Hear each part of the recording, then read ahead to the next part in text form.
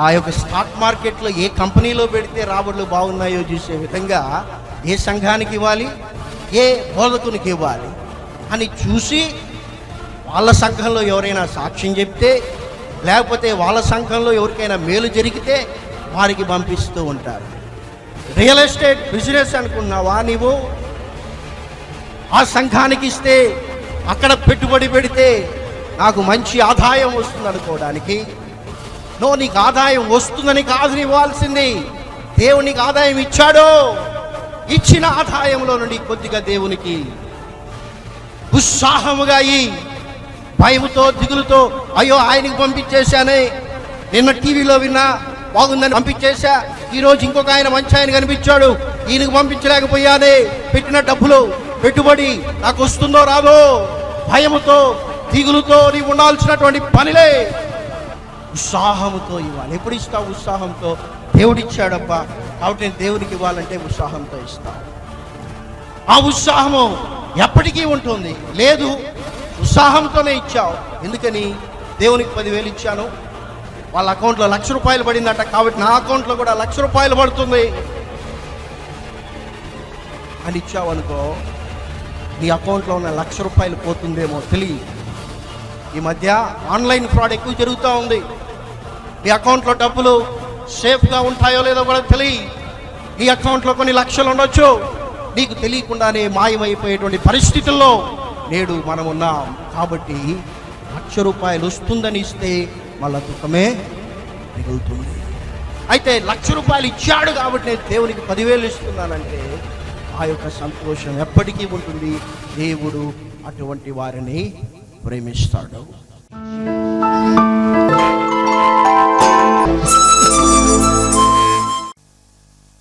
దేవుడు ఎవరిని ప్రేమిస్తాడు? అఫ్ కోర్స్ యోహాను సువార్త మూడవ అధ్యాయము పదహారవ వచనంలో దేవుడు లోకమును ఎంతో ప్రేమించను కాగా ఆయన తన అద్వితీయ కుమారునిగా పుట్టిన వాని యందు విశ్వాసముంచు ప్రతి వాడును నశింపక నిత్య జీవము పొందునట్లు ఆయనను అనుగ్రహించనని దేవుని వాక్యం తెలియజేస్తోంది దేవుడు లోకమును అనగా ఈ లోకములో ఉన్నటువంటి సమస్త మానవులను దేవుడు ప్రేమించాడు. అందుకొరకే తన ఏకైక కుమారుడైనటువంటి క్రీస్తును ఈ లోకంలోనికి పంపించాడు. ఆయన యందు ఎవరైతే విశ్వాసం ఉంచుతారో వారు నశింపక నిత్య జీవమును పొందుకుంటారని దేవుని వాక్యం తెలియజేస్తోంది. రోమిలకు రాసిన పత్రిక ఐదవ అధ్యాయం ఎనిమిదవ వచనంలో ఇంకా దేవుని వాక్యము ఏమి తెలియజేస్తుందంటే అయితే క్రీస్తు తన ప్రేమను మన ఎడల వెల్లడిపరచుచున్నాడు ఎట్లనగా మనం ఇంకను పాపులమై ఉండగానే క్రీస్తు మన కొరకు చనిపోయెను. దేవుడు తన కుమారుడైనటువంటి క్రీస్తును ఈ లోకంలోనికి పంపుట ద్వారా మనము ఇంకను పాపులమై ఉండగానే క్రీస్తు మన కొరకు చనిపోవుటను బట్టి ఆయన మానవుల పట్ల తనకున్నటువంటి ప్రేమను వెల్లడిపరచుచున్నాడు. దేవుడు అందరినీ ప్రేమిస్తున్నాడు బట్ అయితే పరిశుద్ధ గ్రంథమైన బైబిల్లో మూడు లక్షణములు కలిగినటువంటి వారిని దేవుడు ప్రత్యేకించి ప్రేమిస్తూ ఉన్నాడు. అందరిలాగా ప్రేమించబడడం వేరు నీవు ప్రత్యేకముగా ప్రేమించబడడం వేరు. చాలాసార్లు భార్యలు ఈ విధమైనటువంటి ప్రశ్నను వేస్తూ ఉంటారు భర్తను. మీ ఇంట్లో వాళ్ళలాగే నన్ను ప్రేమిస్తూ ఉన్నావా? లేకపోతే నన్ను ప్రత్యేకమైన దానిగా ప్రేమిస్తూ ఉన్నావా? అందరినీ ప్రేమించే విధముగా నన్ను ప్రేమించడం కాదు. నీవు నన్ను ప్రత్యేకమైనటువంటి ప్రేమతో ప్రేమించాలి. దేవుడు అందరినీ ప్రేమిస్తూ ఉన్నాడు. There is no doubt about it అయితే మూడు ప్రత్యేకమైనటువంటి లక్షణములను కలిగినటువంటి వారిని దేవుడు ప్రేమిస్తూ ఉన్నాడు అని పరిశుద్ధ గ్రంథమైన బైబిల్ తెలియజేస్తోంది. ఆ మూడు విషయములను మనం క్లుప్తంగా ధ్యానించి మనము కూడా దేవుని యొక్క ప్రత్యేకమైనటువంటి ప్రేమను పొందుకున్నట్లుగా ప్రభు సహాయం చేయనుగాక. అందులో మొదటి విషయాన్ని మనం చూసినట్లయితే సామెతల గ్రంథం పదైదవ అధ్యాయము తొమ్మిదవ వచనములో దేవుని వాక్యం తెలియజేస్తోంది. భక్తిహీనుని మార్గము యహోవాకు హేయము నీతిని అనుసరించు వానిని ఆయన ప్రేమించును. దేవుడు ప్రత్యేకముగా ఎవరిని ప్రేమిస్తూ ఉన్నాడంటే నీతిని అనుసరించేటువంటి వానిని దేవుడు ప్రేమించేవాణిగా ఉన్నాడు. ఏ నీతిని అనుసరించాలంటే దేవుని నీతిని అనుసరించాలి. ఎందుకంటే మూడు విధములైనటువంటి నీతులు ఈ లోకములో ఉన్నాయి. ఒకటి స్వనీతి అంటే నీకు ఏది కరెక్ట్ అనిపిస్తే దాన్ని ఆధారం చేసుకొని నడవడం. లేకపోతే నీ ఆలోచనను అనుసరించి నడవడం అది స్వనీతి. రెండవదిగా ఈ లోక సంబంధమైనటువంటి నీతి కూడా ఉన్నది. వేల మందిని దోచేసుకొని కొన్ని వందల మందికి అన్నదానం చేస్తే ఈ లోకం దృష్టిలో అది నీతి. అలాంటి నీతి కాదు. శాస్త్రుల పరిచయుల నీతిని గురించి పరిశుద్ధ గ్రంథంలో రాయబడింది. వారి నీతి ఏమిటంటే వారి జీవితాలను దేవుని వాక్యపు వెలుగులో సరిచేసుకోకుండా వారమునకు రెండు సార్లు ఉపవాసం ఉండడం వారి యొక్క రాబడిలో దశమ భాగమును దేవునికి ఇవ్వడం. అప్పుడో ఇప్పుడో ఎప్పుడో నచ్చినప్పుడు దేవునికి ప్రార్థన చేయడం. స్వనీతిని కాదు లోకనీతిని కాదు శాస్త్రుల పరిచయుల నీతిని కాదు నీవు అనుసరించి నడుచుకోవలసినటువంటిది. దేవుని నీతిని నీవు అనుసరించి నడుచుకొనగలిగితే దేవుడు నిన్ను ప్రత్యేకముగా ప్రేమిస్తాడు. ఎంతమంది దేవుని చేత ప్రత్యేకముగా ప్రేమించబడ్డానికి ఇష్టపడతారంటే అందరూ చేతులు ఎత్తుతారు. ఎందుకంటే దేవుని యొక్క ఆ యొక్క ప్రత్యేకమైనటువంటి ప్రేమ ఆ స్పెషల్ లవ్ నీ జీవితంలో నీవు పొందుకోవడానికి తప్పకుండా ఇష్టపడతావు. అయితే దేవుని యొక్క నీతిని నీవు అనుసరించాలంటే నీ జీవితం ఎలా ఉండాలి అంటే పాత నిబంధనలో హిచ్కియా రాజును గురించి మనం చూచినట్లయితే రాజుల రెండవ గ్రంథం పద్దెనిమిదవ అధ్యాయము మూడవ వచనములో దేవుని వాక్యము హిచ్కియా రాజును గురించి ఏమి తెలియజేస్తూ ఉందంటే తన పితరుడైనటువంటి దావీదు చేసినట్లు. దేవుని దృష్టికి పూర్ణముగా నీతిని అనుసరించాడు. హలలుయ దావీదు భక్తుడు ఏ విధముగా అయితే దేవుని దృష్టిలో పూర్ణముగా నీతిని అనుసరించాడో అదే విధముగా ఈ యొక్క హిచ్కియా రాజును గురించి బైబుల్ తెలియజేస్తూ ఉంది. పూర్ణముగా దేవుని నీతిని అనుసరించాడు. ఈయన దేవుని నీతిని అనుసరించాడని దేవుని వాక్యం తెలియజేస్తూ దేవుని నీతిని అనుసరించినటువంటి ఈ యొక్క హిచ్కియా ఏమి చేశాడో దాని తర్వాత వచనంలో దేవుని వాక్యం తెలియజేస్తూ ఉంది. ఈ ఈచ్కియా నాలుగు విషయాలు చేశాడు. నాలుగు తీర్మానాలు ఆయన చేశాడు ఆయన జీవితంలో. అవేంటివంటే మొట్టమొదటిగా మనం చూసినట్లయితే ఆయన ఉన్నత స్థలములను పడగొట్టాడు. రెండవదిగా ఆయన విగ్రహములను పగులగొట్టాడు. మూడవదిగా స్తంభములను ఆయన పడగొట్టాడు.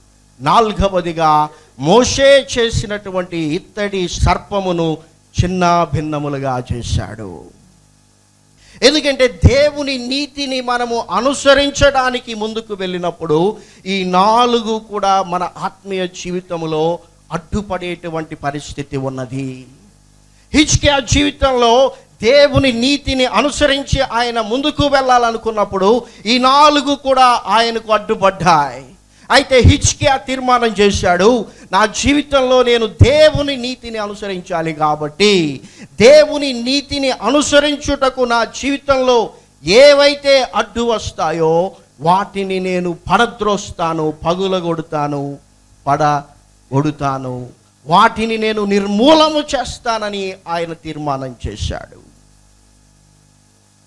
మొదటిగా ఆయన ఉన్నత స్థలములను పడగొట్టాడు. ఈ యొక్క ఉన్నత స్థలములు దేనికి సాదృశ్యంగా ఉన్నాయంటే మన ఆత్మీయ జీవితంలో మనము దేనికైతే ప్రయారిటీ ఇస్తూ ఉన్నామో ఏ విషయాలకైతే మనము ఉన్నతమైనటువంటి స్థానాన్ని ఇస్తున్నామో అవన్నీ కూడా ఉన్నతమైనటువంటి స్థలములుగా ఉన్నాయి. నీవు దేవుని నీతిని అనుసరించాలని ప్రయత్నం చేస్తే ఈ యొక్క ఉన్నతమైనటువంటి స్థలములు దేవుని నీతిని అనుసరించకుండా అవి అడ్డుపడతాయి. కాబట్టి నీవు ఆ ఉన్నతమైనటువంటి స్థలములను పడగొట్టాలి. పడద్రోయాలి. ఎందుకంటే అవి ఉన్నతమైనటువంటి స్థితిలో ఉన్నంత వరకు నీవు దేవుని నీతిని అనుసరించలేవు. దేవుని కంటే నీ జీవితంలో నీవు ఏ ఏ విషయాలకైతే ప్రయారిటీ ఇస్తున్నావో అవన్నీ కూడా ఉన్నతమైనటువంటి స్థలములే. ఒకవేళ అది నీ ఉద్యోగం కావచ్చు నీ వివాహము కావచ్చు నీ భార్య కావచ్చు నీ పిల్లలు కావచ్చు నీ ఆస్తి కావచ్చు. నీ సొత్తు కావచ్చు నీ సొమ్ములు కావచ్చు ఏదైనా కావచ్చు. దేవుని కంటే నీవు వాటికి ఉన్నతమైనటువంటి స్థానాన్ని నీ ఆత్మీయ జీవితంలో నీవు కల్పించి ఉంటే నీవు దేవుని నీతిని అనుసరించలేవు. దేవుని నీతిని అనుసరించనంత వరకు అందరి వలె నీవు కూడా దేవుని చేత ప్రేమించబడుతున్నావు కానీ దేవుని చేత ప్రత్యేకించబడి ప్రేమించబడేటువంటి వానిగా లేవు. కాబట్టి మన జీవితంలో దేవుని కంటే వేటికైతే మనము ఉన్నతమైనటువంటి స్థానాన్ని ఇచ్చామో ఏ ఏ విషయాలైతే దేవుని కంటే ఉన్నతమైనటువంటి స్థలములో మనము పెట్టామో వాటిని నీవు పడద్రోయాలి.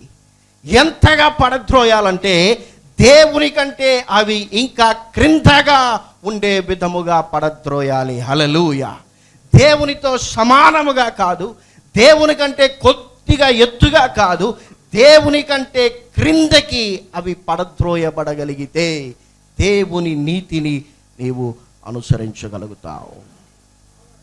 రెండవదిగా అక్కడ హిచ్కియా విగ్రహములను పగులగొట్టాడు. యేసును నమ్ముకున్నటువంటి నీవు యేసును వెంబడిస్తున్నటువంటి నీవు ఏసే నా రక్షకుడని తెలుసుకున్నటువంటి నీ జీవితంలో నీవు ఎలాంటి విగ్రహములను పెట్టుకోవడానికి వీలు లేదు. అది పరిశుద్ధ గ్రంథమైన బైబుల్ చాలా స్పష్టముగా తెలియజేస్తూ ఉంది. అయితే మన ఆత్మీయ జీవితంలో విగ్రహములు లేకపోయినా కొన్ని వస్తువులకు మనము ఇచ్చేటువంటి విలువను బట్టి అవి విగ్రహములుగా ఉండిపోయాయి. ఆలోచించండి విగ్రహములో ఏముంది? ఏమీ లేదు. అది ఒట్టిదని అందరికీ తెలుసు మట్టిదని అందరికీ తెలుసు. బట్ అయితే దానికి ఎందుకు ఆ ఇంపార్టెన్స్ ఇస్తున్నామంటే దానిలో లేనిది ఉన్నదనుకొని దానికి ఆ ఇంపార్టెన్స్ ఇస్తున్నాం. వాస్తవానికి దాంట్లో ఏమీ ప్రాముఖ్యత లేదు. దానికి ఇంపార్టెన్స్ లేదు దాంట్లో విలువ లేదు. బట్ అయితే కూడా మనము భ్రమపడి ఊహించుకొని మనకు మనమే ఆలోచన చేసుకొని మనము దాన్ని విలువైన దానిగా గుర్తిస్తూ ఉన్నాం. మన ఆత్మీయ జీవితంలో చాలా విగ్రహాలు ఉన్నాయి. అవి ఆత్మీయ జీవితానికి ఎందుకు పనికిరానివి? అయితే కూడా మనం వాటికి చాలా ఇంపార్టెన్స్ ఇస్తూ ఉన్నాం. అవి విగ్రహములైపోయాయి మన ఆత్మీయ జీవితంలో. చాలామంది విశ్వాసుల జీవితాలలో వారి యొక్క మొబైల్ ఫోన్ వారికి విగ్రహం అయిపోయింది. ఉదయం నుండి సాయంకాలం వరకు దాన్నే పట్టుకొని దాంట్లోనే చూస్తూ ఉంటారు. చివరికి రాత్రికి ఆలోచన చేస్తే అసలు నేను ఏమి నేర్చుకున్నాను? నేను చూసినటువంటి వాటి వలన ఏమి ప్రయోజనం పొందుకున్నానంటే అంతా కూడా శూన్యమే. దానిలో ఉన్నటువంటి ప్రయోజనము కంటే ఇంకా ఎక్కువ ప్రయోజనము కలిగేటువంటి ఒక వస్తువుకు ఏ విధంగా మనము విలువనిస్తామో ఆ విధముగా దానికి విలువనిస్తూ ఉన్నాం. కాబట్టి అది ఒక విగ్రహం అయిపోయింది. దాని చేత నీవు నడిపించబడుతూ ఉన్నావు. ఎవరి చేత నీవు నడిపించబడుతున్నావో అదే నీ జీవితంలో విగ్రహం. దేవుడు నిన్ను నడిపించాలి. దేవుని నీతిని నీవు అనుసరించాలి. ఈ లోకంలో ఉన్నటువంటి సిద్ధాంతములను కాదు. ఈ లోక సంబంధమైనటువంటి ఆచారములను కాదు నీవు అనుసరించాల్సినటువంటిది. దేవుని నీతిని అనుసరించాలి. కాబట్టి నీ ఆత్మీయ జీవితంలో ఇలాంటి విగ్రహాలు ఏమైనా ఉన్నాయా? ఒకసారి ఆలోచన చేయి. ఆ సినిమాలు ఆ కామెడీ షోలు ఆ సీరియల్స్ ఆ యొక్క అల్లరితో కూడినటువంటి ఆటపాటలు ఎందుకైనా పనికొస్తాయా? దేనికైనా నీకు ఉపయోగపడతాయా అంటే ఏమీ లేదు. చూసినంత వరకు నవ్వుకున్నావు. అయిపోయింది. అయితే నీవు దానికి ఎంత ఇంపార్టెన్స్ ఇచ్చావు? ఎందుకు దానికి అంత ఇంపార్టెన్స్ ఇచ్చావంటే నీ జీవితంలో అది ఒక విగ్రహం అయిపోయింది. కాబట్టి నీవు దానిని పగులగొట్టాలి. అంటే మీ సెల్ ఫోన్ని పగలగొట్టమని నేను చెప్పడం లేదు. అంటే మీరు ఆ సెల్ ఫోన్కి బానిస అయిపోయినటువంటి ఆ యొక్క బంధకములను మీరు పగలగొట్టాలి. నీ సెల్ ఫోన్తో నీకు ఉన్నటువంటి ఆ అతి సమీప బంధాన్ని నీవు తెంచుకోవాలి. అప్పుడు నీవు దేవుని నీతిని అనుసరించగలుగుతావు. మూడవదిగా ఆయన స్తంభములను పడగొట్టాడు. ఈ యొక్క స్తంభములు అన్నటువంటివి దేవుని నీతిని మనము అనుసరించకుండా మధ్యలో అడ్డుపడుతాయి. అందుకే హిచ్కియా వాటిని పగులగొట్టాడు. మన ఆత్మీయ జీవితంలో ఈ యొక్క స్తంభములు దేనికి సాదృశ్యంగా ఉన్నాయంటే ఈ లోకముతో మనకున్నటువంటి సహవాసం ఈ లోకస్తులతో మనకున్నటువంటి సంబంధాలు ఆ స్తంభాలు అడ్డుగా ఉన్నాయి ఆ సహవాసాలు అడ్డుగా ఉన్నాయి ఆ స్నేహాలు అడ్డుగా ఉన్నాయి. అక్రమ సంబంధం దేవుని నీతిని అనుసరించకుండా నీకు అడ్డుగా ఉన్నది. నీ అబద్ధాలు ఆ యొక్క మోసపు జీవితం దేవుని నీతిని అనుసరించకుండా నీకు అడ్డుగా ఉన్నది. కాబట్టి నీవు వాటిని పడగొట్టాలి. అవి నీవు నిలుపుకున్నంత వరకు నీవు దేవుని నీతిని అనుసరించలేవు. హిజ్కియా దేవుని నీతిని అనుసరించాలని ఆయన తీర్మానం చేసినప్పుడు ఆయన కనిపిస్తున్నటువంటి అడ్డులు ఆయన నిర్మూలము చేసి దేవుని నీతిని అనుసరించడానికి ముందుకు వెళ్ళిపోయాడు. నాలుగవదిగా మనం చూసినట్లయితే ఇది చాలా ప్రాముఖ్యమైనటువంటిది. మోషే చేసినటువంటి ఇత్తడి సర్పమును ఆయన చిన్న భిన్నములుగా చేశాడు. మోషే ఎందుకు ఈ సర్పాన్ని చేశాడంటే ఇజ్రాయేలీలు మార్గాయాసము చేత వారు దేవునికి విరోధముగా మోషేకు విరోధంగా మాట్లాడుకున్నారు. ఏమని మాట్లాడుకున్నారంటే మేము ఐగుప్తులోనే ఉంటే బాగుండేది ఎందుకు దేవుడు మమ్మను ఈ అరణ్య మార్గంలోనికి తీసుకొని వచ్చి చంపుతూ ఉన్నాడని వారు మాట్లాడినప్పుడు దేవుని కోపము ఇజ్రాయేలీయుల మీద రగులుకునింది అప్పుడు దేవుడు తాపకరమైనటువంటి సర్పములను పంపించాడు. ఎందుకు దేవుడు అంత విషపూరితమైనటువంటి సర్పములను పంపించాడని ఆలోచన చేస్తే మనము ఇక్కడ ఒక విషయాన్ని ఆలోచన చేయాలి. ఒక వేశ్య ఉన్నది. ఆమె జీవితంలో ఆమెకు తినడానికి గతి లేక ఉండటానికి స్థలము లేక సమాజంలో ఒక చక్కటి బ్రతుకు బ్రతకకుండా చెడు మార్గమును ఎంచుకొని ఒక వేశ్యగా బ్రతుకుతూ ఉంటే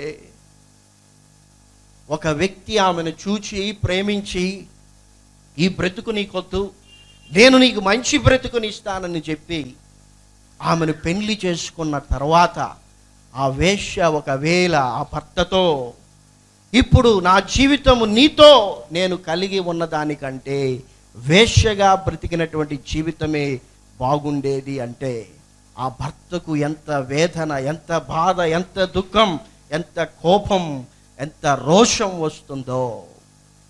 దేవుడు అదే విధముగా ఇస్రాయేలీల మీద కోపపడ్డాడు.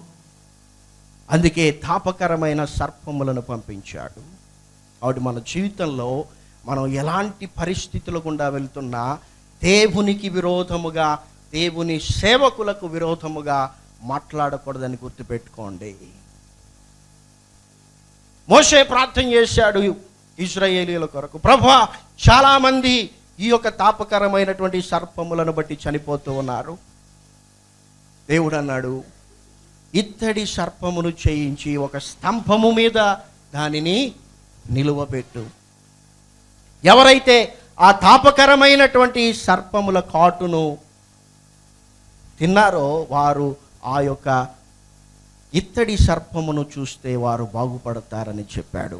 ఇజ్రాయేలీలు దేవునికి అవిధేయత చూపి దేవునికి విరోధంగా మాట్లాడారు కాబట్టి ఇప్పుడు ఆ యొక్క ఇత్తడి సర్పమును దేవుడు చూడమంటే వీరు చూస్తే వారు దేవునికి విధేయత చూపుతారు కాబట్టి ఆ విధేయతను బట్టి వారిలో ఉన్నటువంటి విషము వారిని చంపకుండా కాపాడుతుందని దేవుడు దానిని చూడమంటే కాలము గడిచిన కొలది ఇప్పుడు ఆ ఇత్తడి సర్పమునే ఇస్రయేలీలు పూజిస్తూ ఉన్నారు.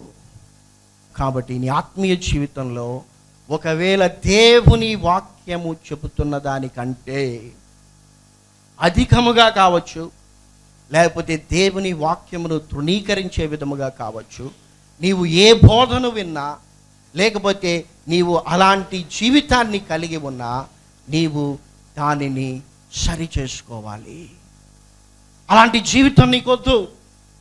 సగం లోకముతో సగము దేవునితో ఆ జీవితం నీకొద్దు. ఇప్పుడు ఇజ్రాయేల్ అనుకుంటూ ఉన్నారు.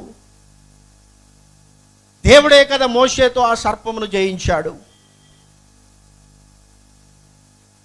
కాబట్టి దాన్నే మనం నమస్కారం చేస్తే తప్పేమిటి? దేవుడు ప్రేమిస్తాడు కదా దేవుడు క్షమిస్తాడు కదా దేవుడు కరుణ కలిగినటువంటి వాడు కదా. కాబట్టి నేను ఈ పాపం చేస్తే తప్పేమిటి? దేవుడు క్షమించడా? కోర్స్ క్షమిస్తాడు. తప్పకుండా దేవుడు నీ జీవితంలో జోక్యం చేసుకుంటాడు. నీవు ఏ పొరపాటు అయితే చేస్తున్నావో ఆ పొరపాటు నీవు సరిదిద్దుకునే విధంగా దేవుడు తప్పకుండా తన సేవకుని పంపిస్తాడు. హలలుయ హిచ్కియా వచ్చే వరకు ఇజ్రాయేలీలు మోసే ఇత్తడి సర్పమును చేసినది మొదలుకొని మధ్యలో ఎప్పుడు ప్రారంభమైందో తెలియదు కానీ కొన్ని వందల సంవత్సరములు ఇజ్రాయేలీలు ఆ యొక్క ఇత్తడి సర్పమును పూజ చేస్తూ వచ్చారు. అయితే హిచ్కియా దేవుని నీతిని అనుసరించడానికి తీర్మానం చేసినప్పుడు ఇజ్రాయేలీలు ఏ పాపాన్నైతే చేయడానికి పూనుకున్నారో ఆ యొక్క ఇత్తడి విగ్రహమును ఆయన చిన్న భిన్నములుగా చేశాడు. హలలుయ దేవుడు జోక్యం చేసుకుంటాడు.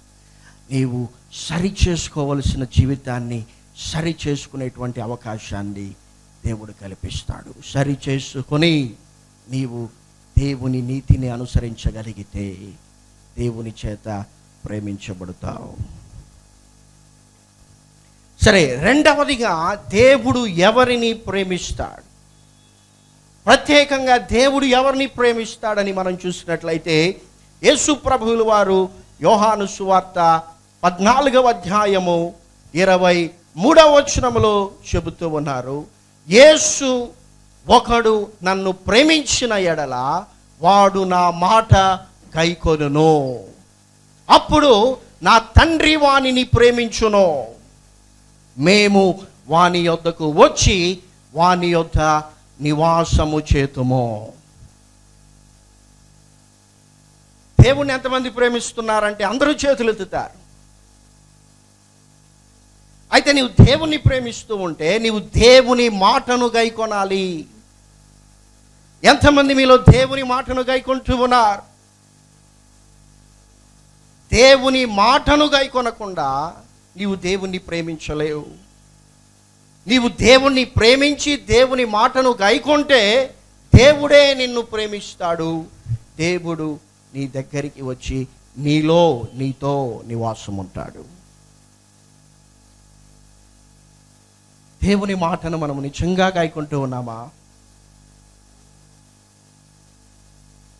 పరిశీలన చేసుకుందాం. దేవుని మాటను గైకొనడం అంటే ఈ దేవుని వాక్యంలో దేవుడు ఏదైతే సెలవిచ్చాడో దాని ప్రకారం మనము జీవించడమే. ఆయన వాక్యమును కైకొనడం అంటే ఆయన వాక్యమునకు విధేయత చూపడమే. సౌలు రాజును ఉదాహరణకు మనము తీసుకున్నట్లయితే దేవుడు సౌలుతో చెప్పాడు ఇదిగో నీవు అమాలేఖ్యులతో యుద్ధము చేయాలి. వారిలో ఉన్నటువంటి ప్రతి పురుషుణ్ణి ప్రతి స్త్రీని ప్రతి పసిపిల్లను జంతువులలో గొర్రెలను కావచ్చు ఎడ్లను కావచ్చు ఒంటెలను కావచ్చు గాడిదలను కావచ్చు వీటన్నిటిని నీవు పూర్తిగా నిర్మూలన చేయమని దేవుడు చెప్పాడు. పూర్తిగా నిర్మూలన చేయి. ఎందుకు నేను ఈ విషయాన్ని చెప్తూ ఉన్నానంటే ఇజ్రాయేలీలు ఐగుప్తు దేశాన్ని విడిచినప్పుడు ఈ యొక్క అమాలేకీయులు మీకు విరోధముగా యుద్ధము చేశారు. మీ ఆత్మీయ ప్రయాణమునకు వీరు అడ్డుపడ్డారు కాబట్టి సౌలుతో దేవుడు చెప్పాడు నీవు అమాలేకీయులలో ఎవరిని దేనిని కూడా విడిచిపెట్టకూడదు. అన్నిటినీ చంపేయాలి. సౌలు విన్నాడు. అయితే ఆయన దేవుని మాటను కైకొనకుండా ఏం చేశాడంటే ఆ యొక్క గొర్రెలలో ఎడ్లలో క్రొవ్వినటువంటి వాటిని ఆయన తన దగ్గర పెట్టుకున్నాడు. సమూయేలు సౌలు దగ్గరికి వచ్చాడు. ఎందుకు ఈ పని చేశావు? దేవుడు నిన్ను సంపూర్ణముగా అమాలేకీయులను నిర్మూలన చేయమన్నాడు కదా. ఎందుకని నీవు చేయలేదు? అంటే సౌలు అంటున్నాడు వాటిలో మంచి వాటిని ముఖ్యమైనటువంటి వాటిని క్రొవ్వినటువంటి వాటిని నేను దేవునికి బలి అర్పించడానికి నా దగ్గర పెట్టుకున్నాను. అప్పుడు సమూయేలు సౌలుతో అంటూ ఉన్నాడు. మొదటి సమూయేలు గ్రంథము పదైదవ అధ్యాయము ఇరవై రెండవ వచనములో అందుకు సమూయేలు తాను సెలవిచ్చిన ఆజ్ఞను గైకొనుట వలన యహోవా సంతోషించున్నట్లు ఒకడు దహన బలులను అర్పించుట వలన సంతోషించునా? ఆలోచించుము. సౌలు ఆలోచన చేయి. దేవుని ఆజ్ఞను గైకొనుటను బట్టి దేవుడు సంతోషించే దానికంటే బలులను అర్పించినప్పుడు దేవుడు ఎక్కువ సంతోషించడు. ఎంత పొరపాటు చేశావు సౌలు నీవు? దేవుడు ఏ విషయంలో ఎంతగా సంతోషిస్తాడో నీవు తెలుసుకొనలేకపోయావే. ఒకడు దేవుని ఆజ్ఞను గైకొనినప్పుడు దేవుడు సంతోషించే అంత నీవు ఆయనకు ఎన్ని దహన బలులను అర్పించినా ఎన్ని క్రొవ్వినటువంటి ఎడ్లను మేకలను గొర్రెలను తెచ్చి అర్పించిన దేవుడు అంతగా సంతోషించలే. అర్థం చేసుకునలేకపోయినావా సవులు దహన బలులను అర్పించుట కంటేనో దేవుని ఆజ్ఞను కైకొనుటయో పొటేళ్ళ క్రొవ్వును అర్పించుట కంటే దేవుని మాటను కైకొనుటయు శ్రేష్టమో. సౌలుని జీవితంలో దేవుని దృష్టిలో ఏది శ్రేష్టకరమైనదో నీవు గుర్తించలేకపోయావు. ఎంత పొరపాటు చేశావు? అల్పమైనటువంటి స్వల్పమైనటువంటి గ్రామములో నుండి గోత్రములో నుండి దేవుడు నిన్ను లేవనెత్తి ఇస్రాయేలీలకు రాజుగా నిన్ను ప్రతిష్ఠిస్తే ఎంత బుద్ధి లేని పని చేశావు. దేవుని మాటను ఆజ్ఞను కైకొనుట శ్రేష్టకరమైనటువంటిది. నీ కానుకలు కాదు నీ డబ్బులు కాదు నీ ప్రార్థన కాదు నీ స్థుతి కాదు దేవునికి కావలసినటువంటిది. దేవుని మాటకు విధేయత చూపడం కావాలి. ఈ దేవుని వాక్య ప్రకారం నీ జీవితం ఉండాలి. అప్పుడే నీ స్థుతి అప్పుడే నీ ప్రార్థన అప్పుడే నీ కానుక అప్పుడే నీ పరిచర్యను దేవుడు శ్రేష్టమైనదిగా గుర్తిస్తాడు. నీ కానుకలను బట్టి దేవుడు సంతోషించవచ్చు. నీ స్థుతి ఆరాధనను బట్టి దేవుడు సంతోషించవచ్చు. నీ ప్రార్థనను బట్టి దేవుడు సంతోషించవచ్చు. కాదే నీవు దేవుని ఆజ్ఞకు విధేయత చూపినప్పుడు ఆయన సంతోషించే దానికంటే ఇక ఏ విషయాలలో ఆయన సంతోషించాడు? హలలుయా ఎంత పొరపాటు సౌలు చేశాడు. నేడు క్రైస్తవులముగా మనం ఇదే పొరపాటు చేస్తున్నాం వాక్యాన్ని వింటూనే ఉన్నాం. The greatest concern that I have about today's Christianity they have been the hearers of the word but not the doers of the word ప్రతి క్రైస్తవుడు దేవుని వాక్యాన్ని వినడానికి ఆసక్తిని చూపుతున్నాడు ఆశను వ్యక్తం చేస్తూ ఉన్నాడు ముందుకు వెళ్తూ ఉన్నాడు కానీ వారి జీవితాలలో దేవుని వాక్య ప్రకారం జీవించడంలే. హైదరాబాద్లో ఐదు ఆరాధనలు జరిగితే ఐదు పెద్ద సేవకులవి.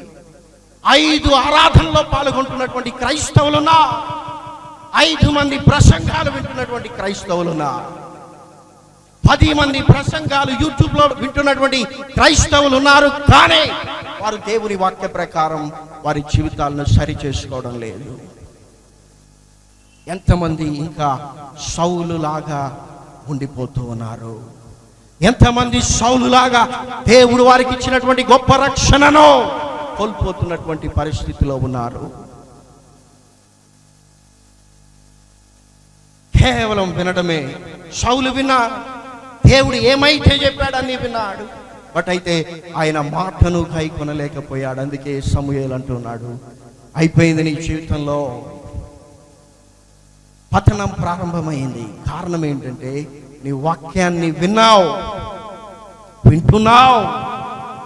వింటూనే ఉన్నావు కానీ నీ బ్రతుకును నీవు సరి చేసుకోలేదు కాబట్టి మనము మాటను కైకొనేటువంటి వారిగా బ్రతుకుతాం సరే మూడవదిగా దేవుడు ఎవరిని ప్రేమిస్తాడు అని మనం చూసినట్లయితే అపోస్తుడైన పౌలు కొరింతి సంఘానికి ఆయన రెండవ పత్రికను రాస్తూ ఉన్నప్పుడు తొమ్మిదవ అధ్యాయం ఏడవ వచనంలో తెలియజేస్తూ ఉన్నాడు.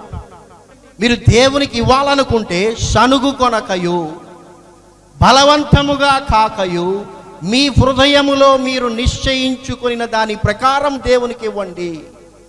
ఉత్సాహముగా ఇచ్చువానిని దేవుడు ప్రేమిస్తాడు. దావీదు భక్తుడు కూడా దేవుని యొక్క మందిరము కొరకై బంగారును వెండిని ఇత్తడిని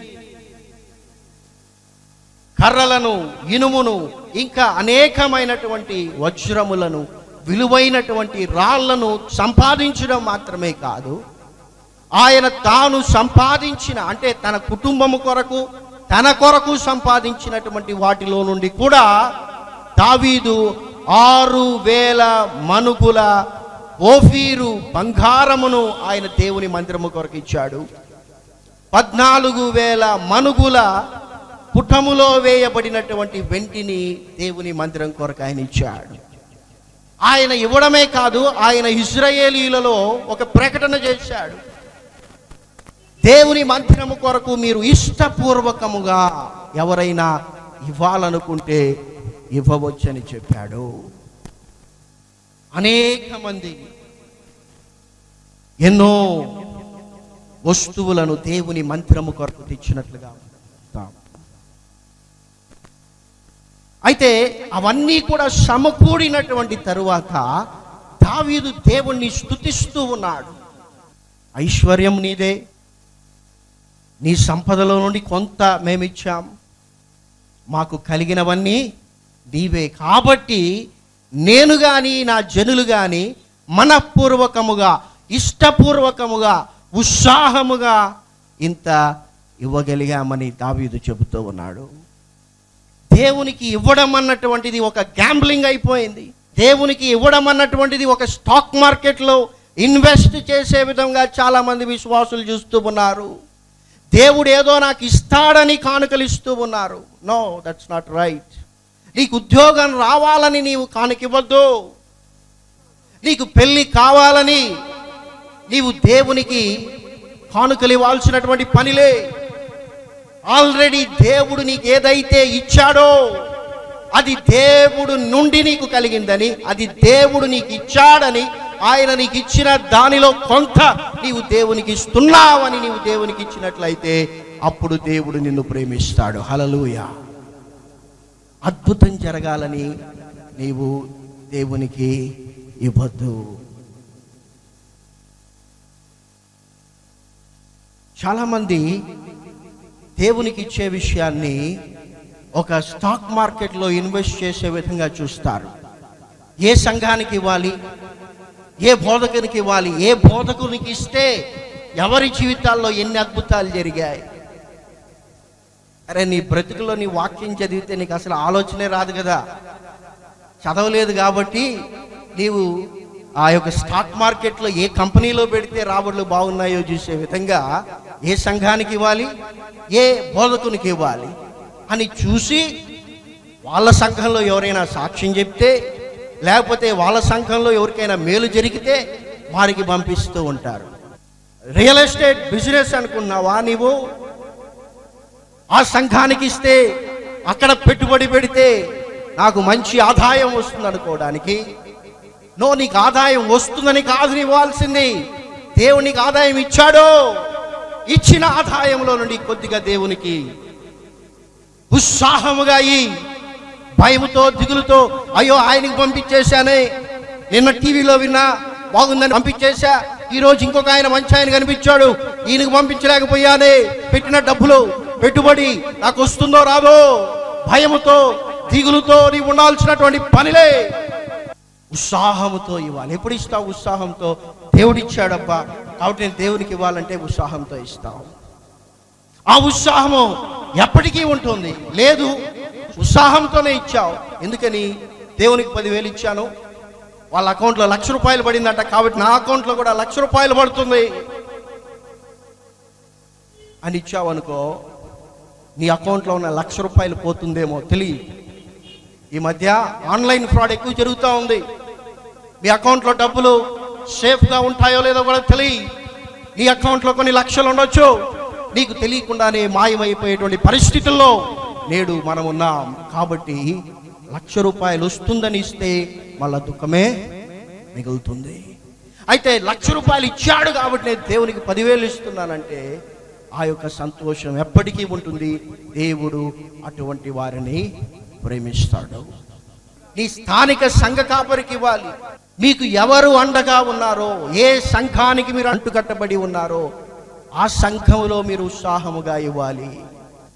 నిజంగా ప్రత్యేకించి దేవుడు మనల్ని ప్రేమిస్తూ ఉన్నాడు అని తెలుసుకోవడం అట్టి జీవితాన్ని కలిగి ఉండడం ఎంత శ్రేష్టకరమైనది కదా.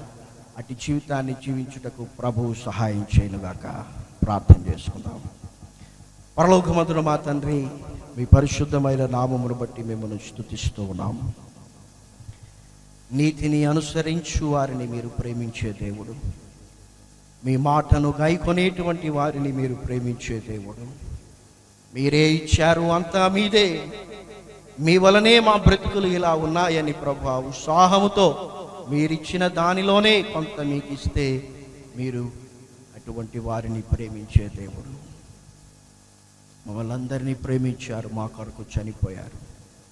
ఇప్పుడు మీరు ప్రత్యేకించి ప్రేమించేటువంటి ఆ బిడ్డలుగా మేము మీ నీతిని అనుసరించుటకు ఆత్మీయ జీవితాలలో అడ్డుగా ఉన్న ప్రతి వాటిని పడద్రోసి పడగొట్టి చిన్న భిన్నములుగా చేసి మీ నీతిని అనుసరించుటకు సహాయం చేయండి. బలులు అర్పణలు కానుకలు కాకుండా ప్రభు మీ మాట వినుట మాత్రమే కాక మీ మాటను గైకునేటువంటి ఉన్నతమైన ఆత్మీయ స్థితిలోనికి మమ్మను ఎదిగింప చేయండి నాయన. ఏదో ఇస్తారని ఇంకేదో అద్భుతం చేస్తారని ఒక పెట్టుబడిగా మీకు ఇవ్వకుండా మీరు ఇచ్చినందుకు కృతజ్ఞతాపూర్వకముగా ఇష్టపూర్వకముగా మనఃపూర్వకముగా మీకు ఇచ్చుటకు కృప చూపించమని. యేసు క్రీస్తు నామమున ప్రార్థించుచున్నాను తండ్రి. ఆమెను. Brother G. డేవిడ్ కర్లాకర్ గారు రచించిన పుస్తకములు. మూడు వందల అనుదిన ప్రార్థనలు. ఈ పుస్తకమునందు ప్రార్థన అనగా ఏమిటి? ఎందుకు ప్రార్థించాలి? ఏ విధంగా ప్రార్థించాలి? ఎంతసేపు ప్రార్థించాలి? అన్నటువంటి ప్రశ్నలకు వాక్యానుసారంగా జవాబులు ఇవ్వబడినవి. మరియు ఆత్మ ప్రాణం శరీరమునకు సంబంధించిన ప్రార్థనలు. మన కన్నులకు చెవులకు నోటికి పెదవులకు నాలుకకు చేతులకు పాదములకు మరియు హృదయములకు మనస్సునకు ఆలోచనలకు సంబంధించిన ప్రార్థనలు. మరియు ఇటువంటి మూడు వందల వాక్యానుసారమైన ప్రార్థనలు ఈ పుస్తకంలో ఉన్నవి. మూడు వందల అనుదిన స్థుతియాగములు. ఈ పుస్తకమునందు స్థుతించుట అనగా ఏమిటి? ఎందుకు స్థుతించాలి? ఎలా స్థుతించాలి? కృతజ్ఞతాస్థుతులు చెల్లించుట అనగా ఏమిటి? మహిమ చెల్లించుట అనగా ఏమిటి? ఇటువంటి ప్రశ్నలకు వాక్యానుసారంగా జవాబులు ఇవ్వబడినవి. మన దేవుడు ఎలాంటి వాడు మన దేవుడు ఎలాంటి వాడు కాదు. మన దేవుని యొద్ద ఉన్నవి మన దేవుని యొద్ద లేనివి మన దేవుడు చేయగలిగినవి మన దేవుడు చేయలేనివి. ఇటువంటి మూడు వందల వాక్యానుసారమైన స్థుతియాగములు ఈ పుస్తకంలో ఉన్నవి. బైబిల్లోని జంతువులు మరియు పక్షులు. ఈ పుస్తకం నందు దేవుని అపూర్వ సృష్టి ద్వారా దేవుడు మనతో మాట్లాడుతున్న విషయంలో బైబిల్లోని ఇరవై తొమ్మిది జంతువుల ద్వారా నేర్చుకోవలసిన పాఠములు బైబిల్ రెఫరెన్స్లతో సహా వివరించబడినది. మరియు పాస్టర్ గాలి గంగరాజు గారు రచించిన పుస్తకములు. దేవుని వాక్యం కంఠాపాఠము కంప్యూటర్ చెడు చిత్రముల నుండి విడుదల మరణ భయం నుండి విడుదల ఆత్మహత్యలకు అంతం ఉన్నదా? యాభై ఆత్మీయ సందేశములు. మరియు ఈ పుస్తకములు ఇంగ్లీష్ భాషలో కూడా లభించను. మా address David Karnakar ministries DKM post box number thirteen Tirupati five one seven five zero seven. Andhra Pradesh India. Our email David Karnakar ministries at Gmail dot com our website డబ్ల్యూడబ్ల్యూడబ్ల్యూ dot doers of the word dot ORG